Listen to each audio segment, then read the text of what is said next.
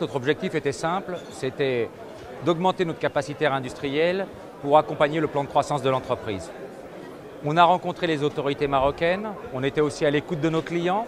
Le groupe PSA, l'Alliance Renault-Nissan-Mitsubishi sont des clients majeurs pour nous et on a beaucoup apprécié l'approche pro-business entrepreneuriale qu'on a pu trouver ici, la capacité de nous accompagner dans nos projets. On a aujourd'hui déjà 100 euh, euh, employés Nextir au Maroc, on prévoit de monter jusqu'à 500 et la qualité de la main-d'œuvre qu'on a pu trouver ici, mais aussi cette énergie, cette volonté d'apprendre, puisqu'on investit fortement dans la formation des nouveaux employés qui rejoignent le groupe Nextir. Et à ce jour, on n'a pu être que convaincus euh, du fait que nous ayons fait le bon choix euh, à travers cette dimension ressources humaines aussi.